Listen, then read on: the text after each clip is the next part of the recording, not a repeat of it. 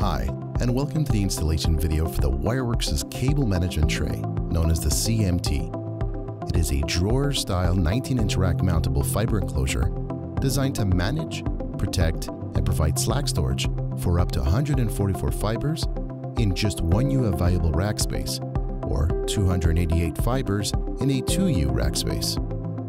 It provides a high-capacity fiber patch cord slack storage using its unique V-shaped primary routing guides in virtually any fiber patching application found in broadband, data center, and premise network environments. Follow these next steps to ensure best practices for mounting and fiber routing. First, partially screw the two bottom screws into the rack position of your choice.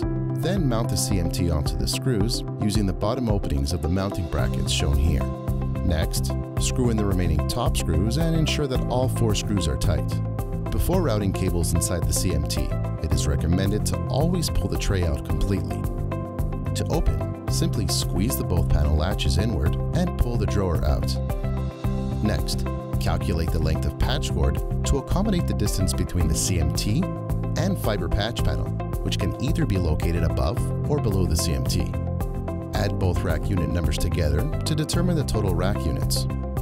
You can use this table to find the minimal patch cord length in meters, corresponding to the total rack units you just obtained. Please note that any additional lengths of longer patch cords will be routed inside the CMT. It is best practice to ensure that cables enter and exit the tray, utilizing the cable guides highlighted here. When routing cables within the CMT, it is important that cables enter and exit the spooling section through the center.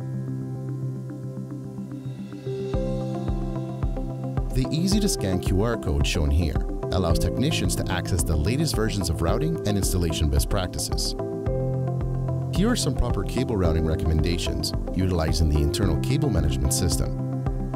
Notice that the cable is entering and exiting the spooling section through the center while utilizing the cable guides on each end. Here is an example of a long patch cord where more than one meter of slack needs to be stored in the tray.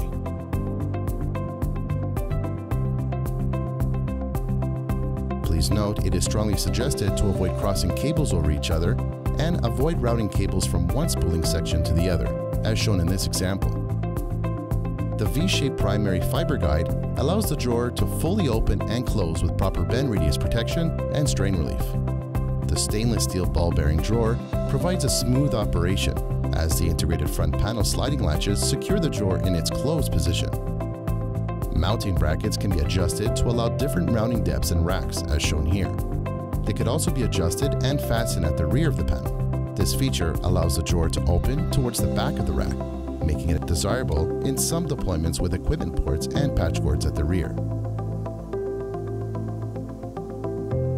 For more information, visit us on social media or visit our website at www.wirewerks.com.